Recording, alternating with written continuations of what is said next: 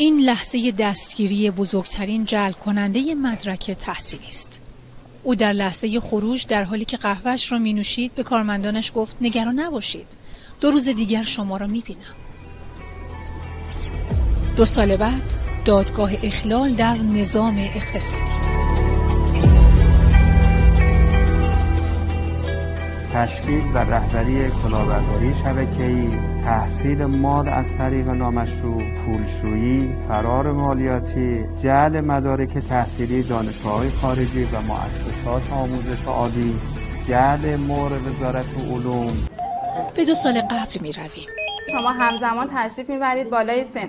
و دکترای افتخاری مدیریت رو دریافت می‌کنید. کار آقای ثابت از آنجا سکه می شود که او یک شبه فقط در یک همایش به بسیاری از افراد مدارک دکترا و پروفسوری می دهد. مدارکی که آنقدر با مهارت طراحی و تنظیم شده که کسی شک نمی کند که جعلی است. این مدرک خامیه که در خصوص بحث دکترای افتخاری از دانشگاه میکیموتو که اصلا اساس این دانشگاه هم جعلی هست. زرای ساندویچ فروشی تو ژاپن بله بله دقیقا همینطوره. یا مدرک صلاحیت شغلی یا همون ایزو. به نحوی است که هیچ کس شک نمی‌کنه که این مدرک واقعا جعلیه. فساد از آنجایی لو رفت که یک نفر از این مؤسسه به نمایندگی وزارت علوم در مشهد شکایت کرد. متوجه شدیم توی بازدیدهامون که اینها تعداد گواهینامه‌ای که داره صادر میشه با تعداد دانشپذیره که تو مؤسسه اینا هستن همخوانی نداره. به عنوان مثال هزار گواهینامه صادر شده 25 نفر دانشپذیر تو مؤسسه پرونده دارن. و با این سرنخ مشخص شد بخش زیادی از مشتریان پروپاقرص این مدارک مدیران دولتی و بخش خصوصی هستند.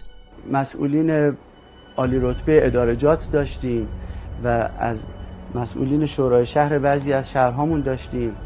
از مدیران ارشد بعضی سازمان ها داشتیم. او در چندین سال فعالیت آنقدر به حاشیه امنیت می‌رسد که پا فراتر گذاشته همایش های بین المللی در سن پترزبورگ روسیه و کاخ خلیفه دوبی برگزار می کند. ایشون حداقل بالای ده هزار مدرک خام ازش کش شد.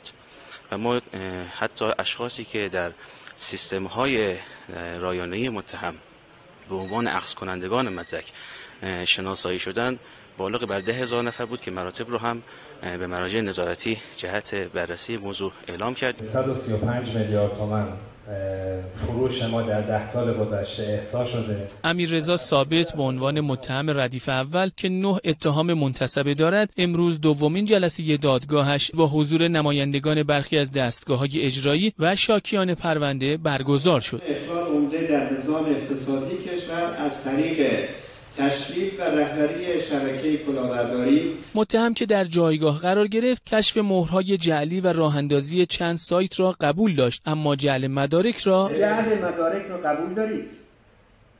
جعل مدارک جعل مدارک چی مدارک تحصیلی دانشگاه‌های کشور شد خیر اما نماینده دادستان با ارائه مستندات خود به دادگاه نحوه جعل مدارک و دیگر تخلفات متهم را تشریح کرد. در زمانی که وارد دفتر و چاپخانه شما شدن برگ صدور یک مدرک گواهینامه روی مانیتور خانم بالا هست. چی حساب شما میگه آقا من قبول ندارم؟ این همه مدرک خام از دانشگاه های مختلف برای دکترای افتخاری. جعل مدرک آموزشی مؤسسات جعل مدرک دکترای افتخاری جعل گواهی صلاحیت شغلی و همچنین. فرار مالیاتی به میزان 85 میلیارد تومان از مهمترین تخلفات هلدینگ آفتاب به مدیریت امیررضا ثابت